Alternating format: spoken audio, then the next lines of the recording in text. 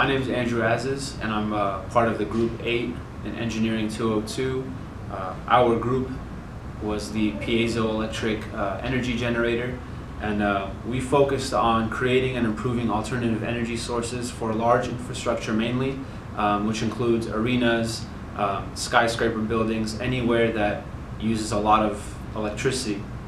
Um, by creating this concept or this product, um, the first thing we needed to do was identify the customer needs. Um, by interviewing stakeholders mainly, um, we ranked the importance of certain customer needs. Some of our stakeholders included um, the owners of large infrastructure, which some were uh, team, sport team uh, owners, which own the, the stadium arenas, um, piezoelectric companies that form or create um, different types of discs that, that are used or plates that are used for the piezo um, electric energy.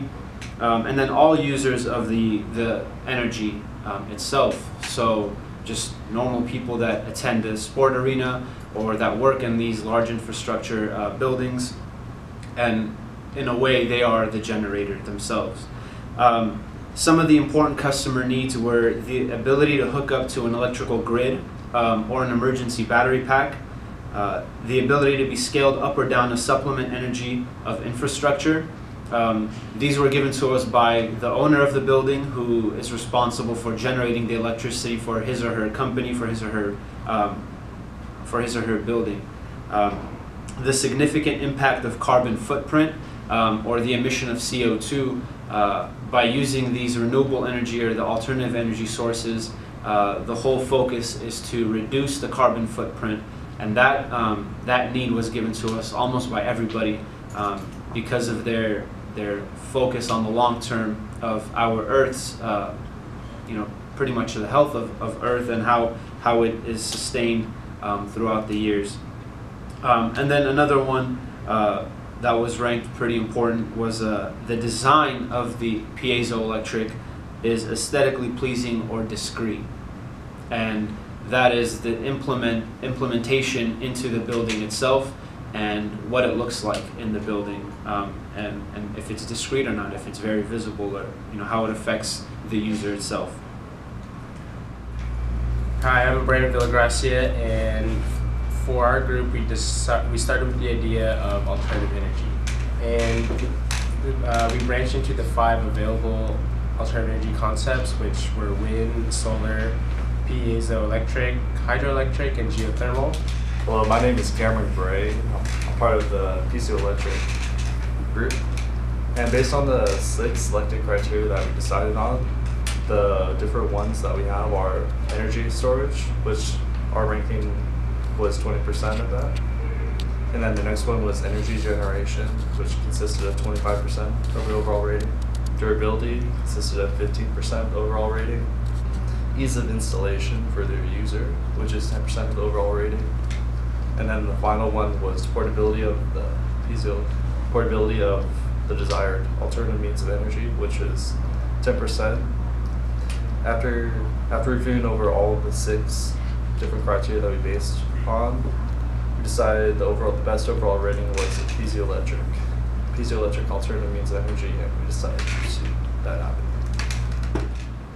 By establishing target specifications, um, we needed to form metrics or a standard of measurement of those needs. Um, and some of the important ones that had to do with our customer needs for this product was the efficiency of consumers' energy consumption, um, which is the output of energy versus the input, or the output over the input. Um, and that gives us a ratio or a percentage of, of the of the energy for, for the piezoelectric uh, generator. And we wanted a very high um, ratio, which means that we're doing the best of being efficient and utilizing all of the, the energy's um, out input by, by the output. And then the max dimension of each, uh, of each, uh, of each product into implementation when we put it into the building, the arena. Um, as you'll see in our design later on, uh, we were, we're implementing it into, into small steps, into a staircase. So into a large uh, arena, this product would go into uh, the staircase or the walkway, and that's how it would generate the electricity. So my name is Ryan Demarest. I am part of Group 8. I will be going over the testing procedure for us when we are going over our piezoelectric stairs.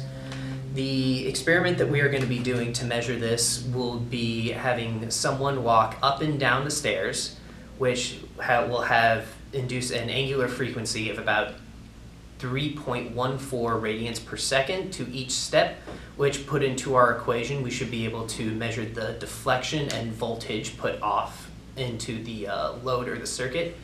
And depending on the numbers that we get, we'll be able to tell how much pressure should be exerted on the step to produce a certain amount of power.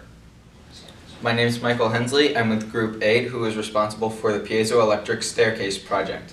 For this design, we have targeted a facility that has that houses a large number of people, such as uh, sports arenas or stadiums.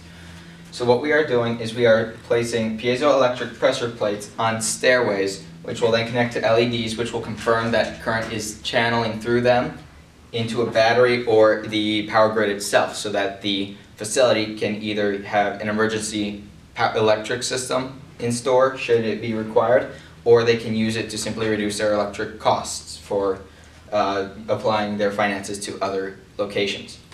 Now, we for our piezoelectric plates, we have decided to use one inch diameter LED discs to be able to take advantage of the stepping area of each person. And to reduce the amount of cost, we put it in the average location where somebody steps. To do this, we took each one inch LED or one inch diameter piezoelectric disc and set them into rectangles of four by eight inches. With this, we are able to have two pairs on each step, which will then allow us to maximize the amount of stepping location for our project. This is the final design for our project as a sol- as a sum.